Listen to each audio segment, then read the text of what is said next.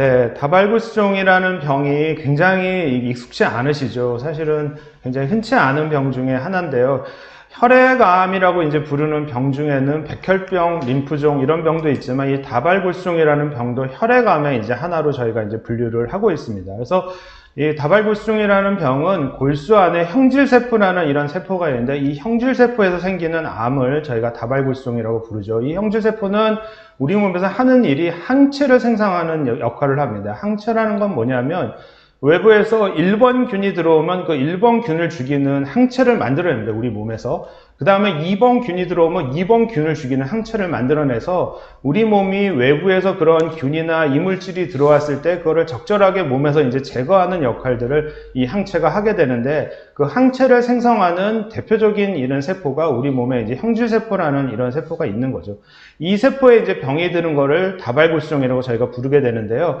일반적으로 정상 이 형질세포를 가진 환자분이 아닌 정상인인 경우에는 저기 그림에 보시는 것처럼 여러 가지 균이 들어올 때마다 적절한 항체를 다양하게 만들어낼 수가 있는데 이 다발골수종 환우분은 쉽게 얘기해서 1번 항체를 만들 수 있는 그런 형질세포가 암이 돼버리면 피 속에는 1번 항원을, 1번 균을 죽이는 항체만 잔뜩 있는 결국은 이런 상황에서는 2번 균이 들어오거나 3번 균이 들어올 때 결국 그 균을 죽일 수 있는 항체를 적절하게 생성하지 못하는 그런 문제가 생기는 병이 다발골수종이라는 병입니다. 그래서 이 다발골수종을 우리가 이제 진단을 하고 이렇게 평가를 할 때 M단백이라는 말을 많이 쓰는데 이게 결국은 아까 말씀드린 형질 세포에서 암 단백으로 만들어내는 이 항체의 양을 저희가 이제 M단백이라고 부르게 되는 거죠. 그래서 진단 시에 M단백이 뭐 10이었다, 5였다. 근데 치료하면은 이게 뭐 1로 떨어졌다, 0.5로 떨어졌다. 이렇게 하면서 저희가 이제 반응이 좋다, 나쁘다를 이제 형성을 하는데, 어, 설명을 드리는데요. 이 M단백을 구성하는 이 항체는 여기 그림에 보시는 것처럼 경세와 중세로 구성이 되어 있는데, 한 20% 정도의 환우분들은 이 중세가 없는 경세 타입으로 되어 있어서 어, 피 속에는 M단백 양이 많지 않은데 소변으로만 많이 나오는 이런 경우가 있습니다. 이제 이런 경우에는 자주 저희가 24시간 소변을 모아서 평가해야 되는 굉장히 어려움이 있고 그런 경우에는 혈액 내 이제 카파나 람다라는 유리경색 값을 통해서 이제 반응 평가를 하고 저희가 이제 설명을 드리도록 되어 있습니다. 어, 이 다발골수종의 진단은 골수 검사를 통해서 형질세포가 증가한 걸 갖고 저희가 이제 진단을 하긴 하지만 실제로 이제 증상이 있는 이 다발골수종이 되기 전 단계에 무증상 골수종이라는 병이 있습니다. 이제 그 단계를 거쳐서 실제로 증상이 있는 다발골수종으로 넘어가는데 이 증상이 있다라는 그런 의미는 여기 맨 밑에 나와 있는 크랩이라는 우리가 약자를 쓰게 됩니다. 이제 C라는 거는 하이퍼칼세미아의 고칼슘 혈증이죠. 그 다음에 R이라는 거는 이제 신부전, 신장이 나빠지는 걸 R이라고 표현하고요. 아네미아인 A는 빈혈을 예, 얘기하는 거고, B는 본 디지즈, 우리가 이제 어, 용해성 골병변이 있는 경우. 그래서 칼슘 농도가 올라가거나 신장이 나빠지거나 빈혈이 생기거나 골병변이 생길 때 그게 하나라도 이제 있는 경우에 한해서 저희가 이제 다발골수종이 증상이 있는 다발골수종이다라고 이제 평가를 하고 그때부터 이제 치료가 들어가게 되고요. 최근에는 여기 그래프에 이제 오른쪽 중앙에 있는 MRI상의 국소병변이 두 개 이상이 있거나 그 다음에 혈청 유리경색 비율이 100 이상이 되거나 골수 내에 형질세포가 60% 이상이 넘어가는 경우에도 다발골수종으로 평가를 해서 이제 치료를 하게 됩니다. 그 여러분 골수 검사 굉장히 힘든 검사라는 거잘 알고 계실 텐데 아까도 말씀드린 것처럼 진단을 하기 위해서는 골수 내에 이런 어, 암으로 변한 형질세포의 증식을 확인하는 과정이 필요합니다. 그래서 환우분들이 보통 후 장골 능선에서 저희가 주사기로서 이 골수를 채취를 해서 여기에 형질세포가 증식이 되어 있는지를 저희가 확인하는 과정을 거치는데요. 이 골수 검사를 할 때 그냥 단순히 저 세포만 보는 게 아니라 여기서 유전자 검사를 하게 됩니다. 나중에 제가 이제 예후에 대한 얘기를 할 때 이 유전자 변이가 동반된 거를 설명을 드릴 텐데 그런 유전자 검사를 할 때는 이 골수 세포를 이제 뽑아서 우리가 여러 가지 방법을 통해서 유전자 변이가 있나 없나를 확인하는 이제 과정을 거치게 됩니다. 어, 다발골수종이 아니라 형질세포종이라는 얘기를 들어보신 분들이 있으실 거예요. 나중에 질문에도 나오는데 형질세포종이라는 거는 다발골수종과 조금 다른 병입니다. 특히 이제 단일 형질세포종이라는 그런 질환이 있는데 아까 처음에도 제가 말씀드린 것처럼 형질세포는 골수 안에 있는 세포거든요. 그래서 워낙에 골수 안에서 증식을 해야 되는데 얘가 골수 바깥으로 나와서 뼈나 연부 조직에 이렇게 덩어리를 만든 경우를 형질세포 종이라고 합니다. 그러나 이 단일 형질세포 종이라는 거는 골수 안에는 다발골수종의 증거가 전혀 없이 몸 바깥에, 골수 바깥에 이렇게 덩어리를 형성할 때, 그 특히나 그게 이제 한 군데 정도만 있는 경우에는 단일 형질 세포종이라고 부르고, 예우는 다발골수종보다 훨씬 좋은 걸로 이제 이렇게 평가가 되어 있습니다. 그 다음에 의미불명 또는 미결정 유의성 단클론성 감마병증. 말이 굉장히 어렵죠. 우리가 이제 엠거스라고 약자로 많이 붙이는데요. 이런 경우는 이제 다발골수종으로 넘어가기 전 단계라고 얘기하시면 됩니다. 우리가 그러니까 실제로 이제 증상이 생기지 않는 단계에서 이제 골수 안에 이렇게 1번 항체만 많이 만들어내는 그런 형질세포가 많이 증식이 되어 있는 단계고 아직 다발골수종으로 이렇게 넘어가기 위한 형질세포의 증식은 아직 보이지 않는 그 단계를 MGUS라는 얘기를 이제 저희가 붙이는데 이 대부분의 다발골수종은 이 MGUS 단계를 거쳐서 다발골수종으로 진행하는 것으로 현재 알려져 있고 아까 제가 증상이 있는 다발골수종이라고 이제 얘기할 때 CRAB이라는 말을 썼는데 고칼슘혈증, 신부전, 빈혈, 그 다음에 뼈 질환 이런 것들이 이 단클론성 의미불명의 단클론성 감마병증 때는 전혀 동반이 안 돼 있는 그런 단계를 우리가 이제 MGUS라고 부르고요. 이 단계에서는 치료는 필요하지 않은 것으로 이제 알려져 있습니다. 현재 우리나라에서는 연간 한 1,500명에서 1,700명 정도의 신환이 발생하는 것으로 알려져 있고요. 이 그래프에서 보시는 것처럼 매년 급격하게 이제 환자 숫자가 증가를 하고 있는데 이 다발굴종은 고령에서 많이 생기고 우리나라에 이제 실제로 어 전체 인구의 그 수명이 계속 길어지면서 우리나라의 다발굴종 환자의 어 발생률은 계속해서 이제 증가하고 있는 그런 양상으로 보입니다. 어, 다발굴성은 유전자 변이가 많이 동반이 되는데요. 이게 이제 저기 보시면은 왼쪽에 노란색이 이제 진단시인데, 이게 진단시에 비해서 환우분들이 이제 한 번 재발하고 두 번 재발하고 이러면은 어쨌든 치료 약제가 잘 안 듣고 이러는 게 계속해서 이제 몸 안에서 유전자 변이가 동반되기 때문에 이런 문제들이 생기는 굉장히 이제 복잡한 그런 과정을 거치는 병이라고 이제 알려져 있습니다. 그래서 이런 다발굴성의 임상 양상을 보시면은 주로 이제 뼈가 많이 망가지는데요. 우리가 이제 암세포에서 뼈를 파괴시키는 파골세포를 활성화시키는 그런 이제 인자가 나와서 우리 몸의 뼈가 많이 약해지는 게 대표적인 임상 양상이고요. 그다음에 뼈에 있는 칼슘이 혈중으로 나와서 고칼슘 혈증이 생기고 골수 안에서 이런 형질세포가 증식하면서 빈혈이 생기고 이 형질세포에서 암 단백질이 혈액으로 많이 나오니까 그것 때문에 콩팥이 망가지고 아까 말씀드린 것처럼 정상적으로 균이 들어올 때 거기에 대처하는 항체를 잘 못 만들어니까 감염이 생기고 이런 문제들이 생기는 게 다발골수종의 대표적인 임상 양상이라고 보시면 되겠습니다. 그래서 여기 보시는 것처럼 머리뼈 굉장히 단단하잖아요. 이런 뼈에 저렇게 구멍이 나고 팔뼈도 굉장히 이게 단단한 뼈인데 이런 뼈가 쉽게 이게 부러지는 이게 이제 골절이 쉽게 되는 게 대표적인 이 병의 합병증인데요. 그래서 진단 당시에 가장 흔한 임상 양상은 요통과 흉통이라고 얘기하는데 흉통이 이제 심장이 아파서 생기는 흉통이 아니라 늑골에 금이 가면서 생기는 이제 흉통을 이제 흔히 우리가 이제 관찰을 할 수 있게 됩니다. 그 다음에 골병변을 측정하기 위해서는 엑스레이만 찍는 게 아니라 MRI나 팩트와 같은 검사를 통해서 저희가 우리 몸에 골병변이 어디 있는지를 쭉 평가를 하게 되고요.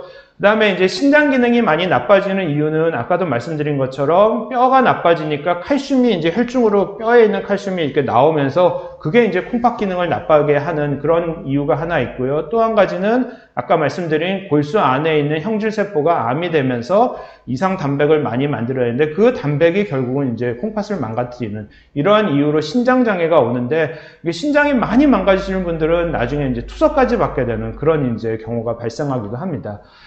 어, 저희가 이제 환우분들한테 가장 중요하게 생각하는 부작용 중에 하나가 치료 과정 중에 생기는 감염인데요. 아까도 말씀드린 것처럼 이게 이제 정상적으로 균이 들어올 때 그 균을 죽이는 항체를 적절하게 만들지 못하기 때문에 이런 폐렴과 같은 감염이 잘 생기기 때문에 저희가 적극적으로 이제 항생제 예방 요법이나 적절한 이제 치료를 통해서 이 감염을 이제 치료하는 과정 중에 잘 조절을 해야 되는 것으로 이제 알려져 있습니다.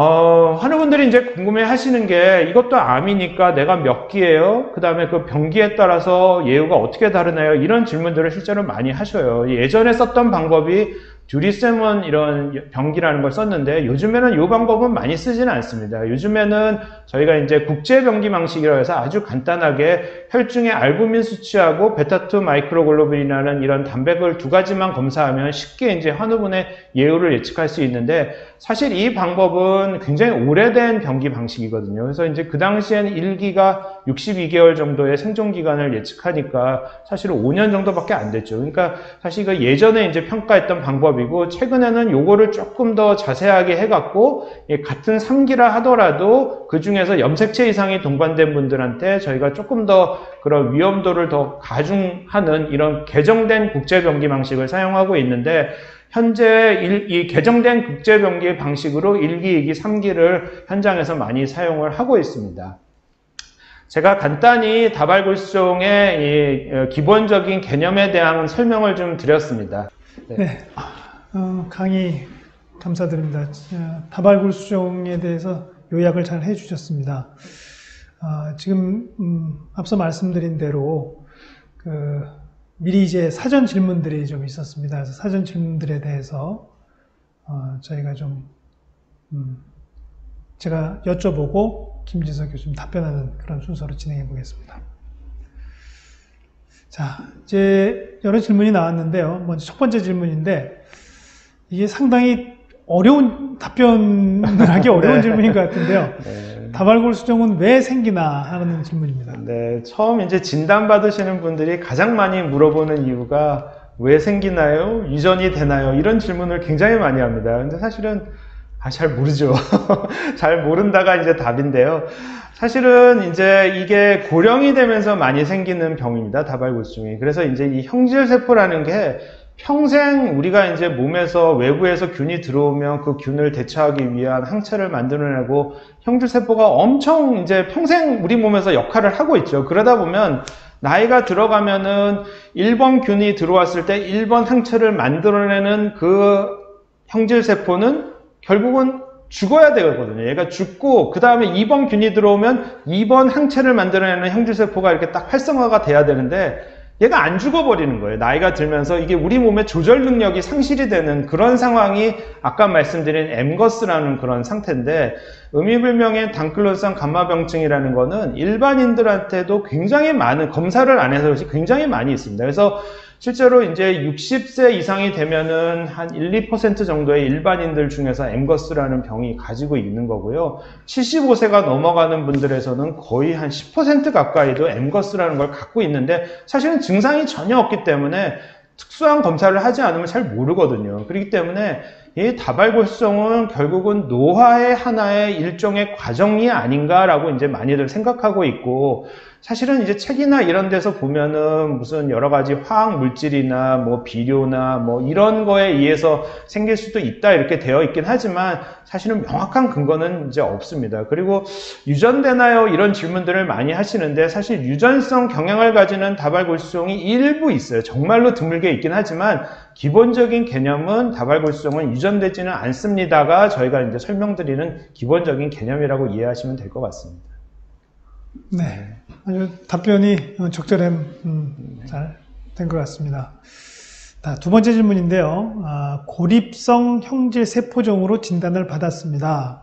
아, 이게 도대체 어떤 병이고 치료는 어떻게 합니까? 라는 질문입니다. 네, 이것도 아까 잠깐 제가 간단히 설명하고 넘어갔는데 형질세포종하고 다발골수종은 다른 병이죠. 형질세포종은 골수 안에 있는 형질세포가 골수 바깥으로 나와서 뭐 턱 밑에나 아니면 뭐 허리뼈나 이런 데 덩어리를 만들 때 우리가 형질세포 종이라고 부르는데 이 형질세포 종이 덩어리가 만져질 때 두 가지 타입이 있습니다. 하나는 기본적으로 다발골수종을 가지고 있으면서 덩어리를 가지는 경우가 있고요. 골수는 깨끗하고 다발골수종이 없어요. 아까 얘기한 다발골수종이 되려면 골수 안에 형질세포가 적어도 10%는 돼야지 저희가 이제 진단을 할 수 있는데 골수는 깨끗한데 이렇게 덩어리가 있는 경우, 이런 경우를 우리가 고립성 형질세포종이라고 부릅니다. 그러니까 일반적으로 나는 골수에서 다발골수종으로 진단을 받았는데 덩어리가 보인다. 이런 분들은 고립성 형질세포종이라는 말을 붙이진 않고 그거는 이제 다발골수종을 가진 분들이 그렇게 형질세포종을 추가로 더 가지고 있는 거죠. 그러니까 두 가지가 좀 다른 병이고요. 고립성 형질세포종은 아무래도 이제 국소의 병이라고 저희가 판단하기 때문에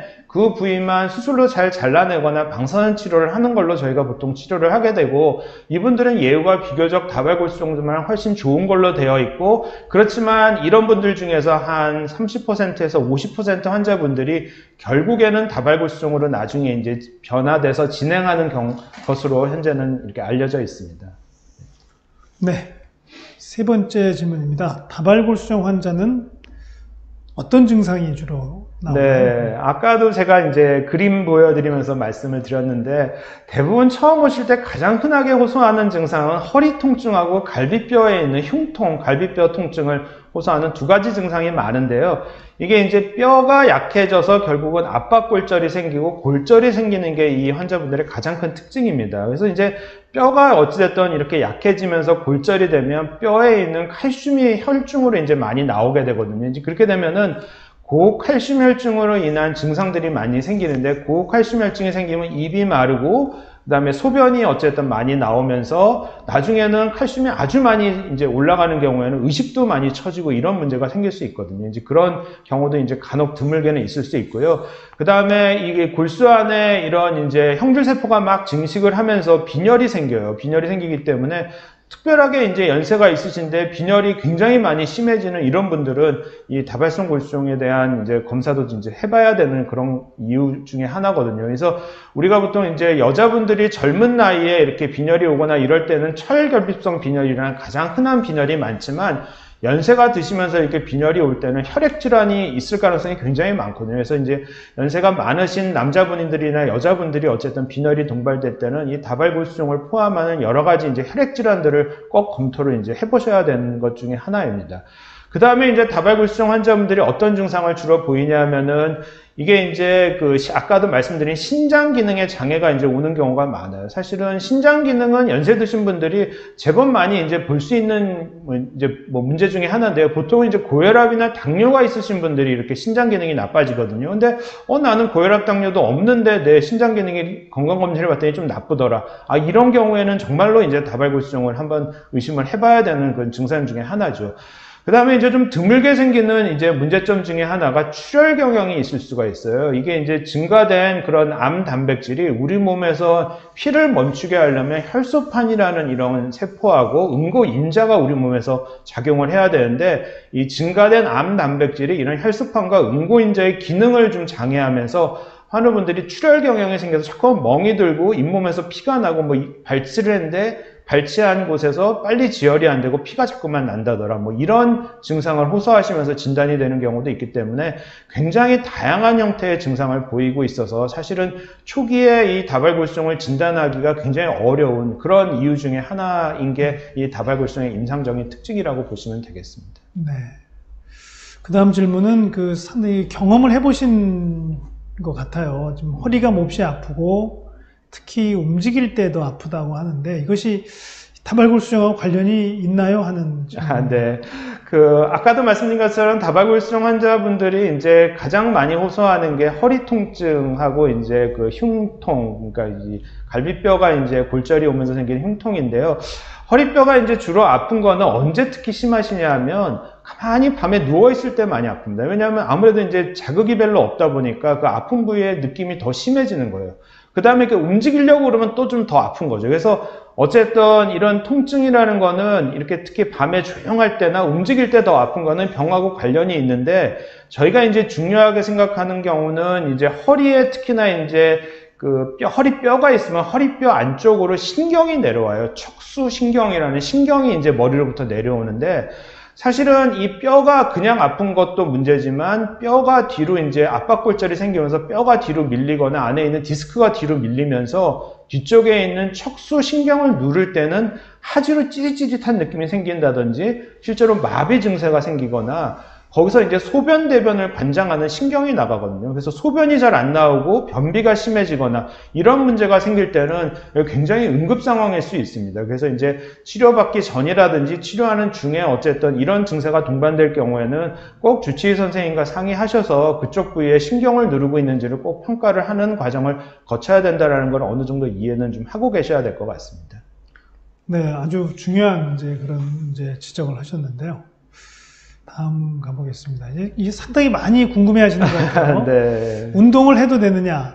그러면 좀 운동을 한다면 어떤 운동이 좋은가에 대한 질문입니다. 네, 이것도 굉장히 어려운 질문입니다. 사실은 운동의 종류가 굉장히 다양하죠. 그래서 저희가 이제 환우분들한테 운동 정리에 대한 저 질문을 많이 받는데 가장 많이 듣는 질문이 골프해도 되냐고 그런 질문들을 많이 하시더라고요. 그래서 저희가 이제 운동을 결정할 때는 두 가지를 꼭 명심을 하셔야 됩니다. 하나는 현재 본인 상태가 감염의 위험이 있는지, 두 번째는 현재 본인의 뼈 상태가 어느 정도 나쁜지를 잘 판단을 하셔야 돼요. 그래서 뼈 상태가 좀 나쁘신 분들은 절대로 허리나 이런 데 무리가 가는 운동을 하시면 안 됩니다. 역기를 든다든지, 뭐 계단을 막 10층씩 오르고 내리고 막 뛰어간다든지 이런 거는 허리뼈에 상당히 이제 어쨌든 무리를 가하게 되는 거거든요. 그렇기 때문에 그런 운동들은 절대 하시면 안 되고 뭐 아까 말씀드린 엠거스 단계에서 나는 뼈도 전혀 문제 없다. 이런 분들은 뭐 가볍게 그런 운동을 하셔도 되겠지만 이미 다발골성으로 진단이 돼서 허리에 압박골절까지 동반되어 있는데 무거운 역기를 든다든지 뭐 우리가 요즘에는 웨이트 트레이닝 이런 거 하면서 아주 무거운 그런 운동을 하잖아요. 무거운 걸 드는 운동을. 그런 거는 절대 하시면 안 된다라는 걸 꼭 기억을 하셔야 될 것 같고요. 그래서 저희가 이제 보통 얘기할 때 이 파골세포가 아까 활성화된다 그랬잖아요. 이 병이요. 이 파골세포는요, 가만히 누워있으면 더 활성화가 돼요. 그래서 좀 걸으셔야 돼요. 걸으셔야 되는데, 과격한 운동보다는 산책이 굉장히 좋습니다. 그러니까 뭐 본인이 체력이 허용한다면 조금 빠른 걸음으로 이렇게 조깅을 하는 것보다는 좀 천천히 이렇게 빨리 걷는 게 굉장히 좋은 운동이라고 이제 보시면 되고요. 수영이나 이런 것들도 이제 괜찮은데 문제는 뭐냐면 감염이 위험이 있을 때가 문제예요. 이제 치료하는 과정 중에 특히나 이제 초반에는 감염 위험이 굉장히 높거든요. 치료 초기에는 혈액 내에 이제 M 단백이라는 게 높고 이럴 때는 감염 위험이 높고 또 중간에 치료 과정 중에 백혈구 수치가 굉장히 많이 떨어지는 경우가 있습니다. 이럴 때도 이제 감염 위험이 높은데 이럴 때는 사실 수영도 별로 좋지 않습니다. 그래서 저희가 이제 가장 권장하는 거는 산책이 가장 좋은 운동으로 되어 있고요. 본인이 감염의 위험이 별로 높지 않다 그러면은 이런 수영 같은 운동도 어느 정도 괜찮지 않을까 하는 게 이제 생각이고요. 골프 아까 제가 질문을 드렸는데 아 이거 간단치 않아요. 왜냐하면은 아까도 얘기 드린 것처럼 갈비뼈가 부러질 수 있는데 골프를 하다 보면은 아무래도 갑자기 이제 우리 몸에 힘을 주게 되기 때문에 실제로 골프를 치신 다음에 이 갈비뼈가 부러져서 굉장히 고생하시는 실제로 한 분이 계셨거든요. 그래서 정말로 이게 욕심을 안 부리고 아주 살살 스윙을 할 수 있다면은 뭐 해도 좋겠지만 상당히 이제 위험할 수 있는 그런 운동이라고 이해하시면 좋을 것 같습니다. 네.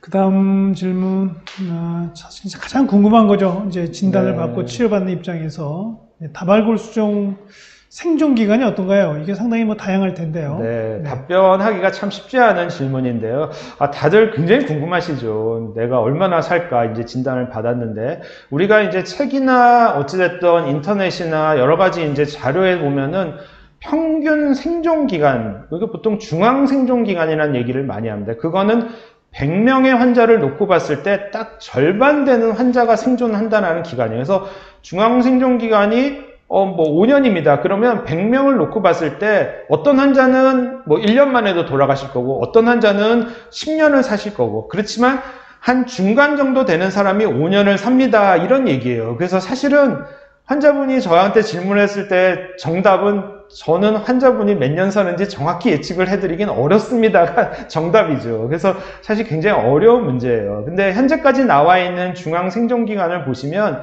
이식을 받는 환우분들은 한 8년에서 10년 정도를 현재 예상을 하고 있고요. 조혈무스포 이식을 받지 못하는 고령의 환자분들은 한 5년 내외의 생존 기간을 예측을 하고 있습니다. 그렇지만 여러분도 아시는 것처럼 이 다발골수종의 신약이 지금 너무 빨리 발전을 하고 있거든요. 그래서 하나의 약이 나오면 또 몇 년의 생존 기간이 길어져요. 그래서 지금까지 알려진 이런 자료들은 이미 옛날에 나온 약도 좋은 게 없을 때 나온 그런 생존 기간이거든요. 그래서 너무 인터넷에 있는 정보를 보시고서는 너무 실망하지 마시고 주치의 선생님과 현재 우리가 가능한 약제를 가지고 열심히 치료하시다 보면은 여러분들이 그 중앙 생존 기간에서 그 기간을 지키는 게 아니라 가장 좋은 생존 기간을 아마 본인 생존 기간으로 가지게 되지 않을까 이렇게 생각이 됩니다. 네, 네 감사합니다. 그다음에 이제 마지막 질문입니다. 생존 기간에 영향을 주는 검사 결과들 우리가 보통 이제 접하는 이제 뭐 여러 가지 혈액, 소변 영상이 있겠죠. 그런 거는 무엇이 있고요. 그 다음에 그 병기죠. 이 암에 있어서 병기 1기, 2기, 3기, 4기 뭐 등 말씀해 주셨는데 어떻게 결정을 합니까? 네, 이게 이제 암이기 때문에 병기가 있어요. 근데 보통 좀 이상한 게 보통 일반 암은 1기부터 4기까지 저희가 나누는데 이 암은 1기부터 3기까지가 있습니다. 4기가 없어요. 이게 독특한데.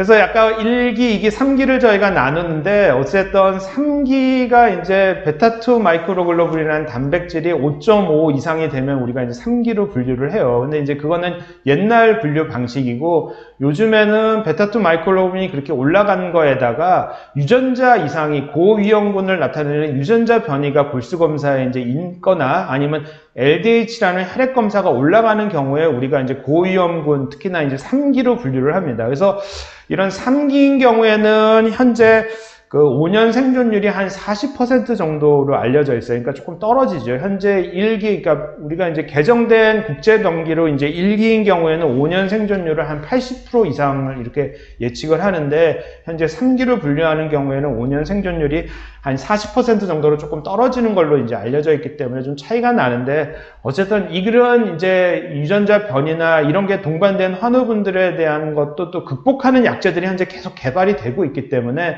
너무 이제 진단 시에 이런 병기 결과를 듣고서는 실망하거나 그러실 필요는 없다라는 게 이제 제 의견입니다.